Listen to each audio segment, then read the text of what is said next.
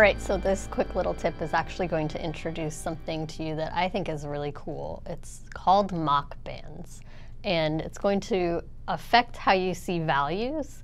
And I think it's really interesting to understand part of how our brains and our eyes are working together to create what we see. So let's take a look at a photograph. Here what you're seeing are an example of Mach bands. So you'll see it particularly when we have um, values that are a small gradation step down in lightness to darkness next to each other.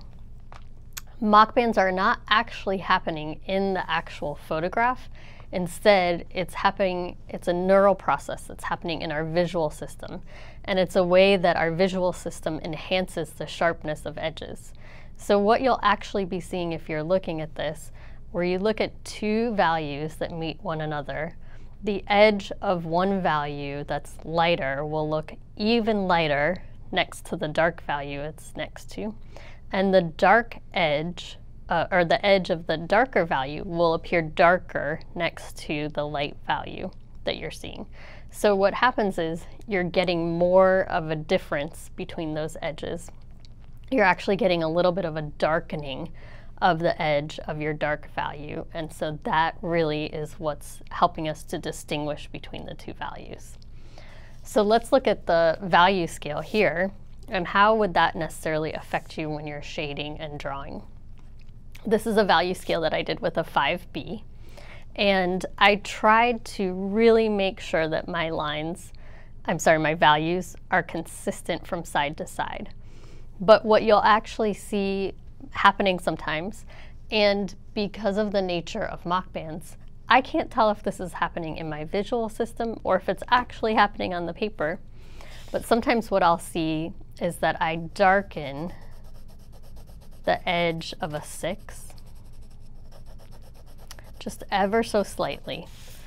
And the way that you'll see it is that it looks ever so slightly darker on the lighter side of the 6 or towards the lighter value that's next to it. And it will look lighter near the darker side where it's meeting the 7. So sometimes that's happening because of the way that I'm shading.